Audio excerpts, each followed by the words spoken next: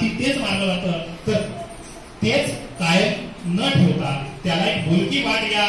बोलकी मुळाशयांच्या माध्यमातून विजयालक्ष्मी गोरेताईंनी या ठिकाणी घडून दिलेली आणि प्रत्येक शब्दावरण सुरू होणाऱ्या कविता खऱ्या अर्थानं बालकांचं लक्ष वेधून घेतील अशा तऱ्हेच्या आहेत. आणि त्यानंतर माधुरीताई चौधरींनी जे काही आपलं महा झरण्याची ताकद आपल्या लक्षात येईल की अहिराणीच्या व्याकरण दृष्ट्या